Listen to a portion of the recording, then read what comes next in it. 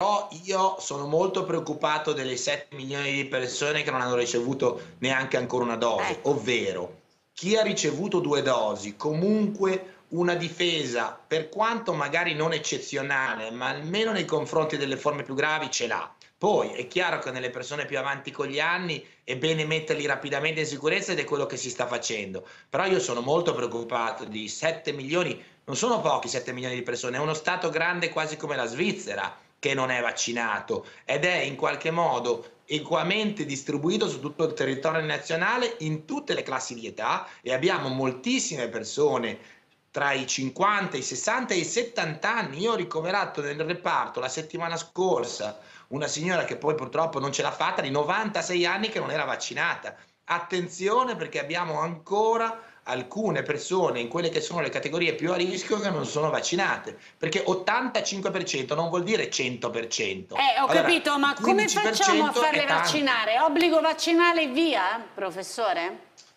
Ma guardi, io credo che bisognerebbe ragionare a questo punto, almeno per alcune categorie di lavoratori, probabilmente sull'obbligo vaccinale. Io penso per esempio ai dipendenti della pubblica amministrazione, penso a chi ha contatto continuo e costante col pubblico, operatori di pubblica sicurezza, penso al cassiere del supermercato, penso all'autista dell'autobus. Queste persone, secondo me, dovrebbero avere l'obbligo di essere sottoposte alla vaccinazione. Dopodiché,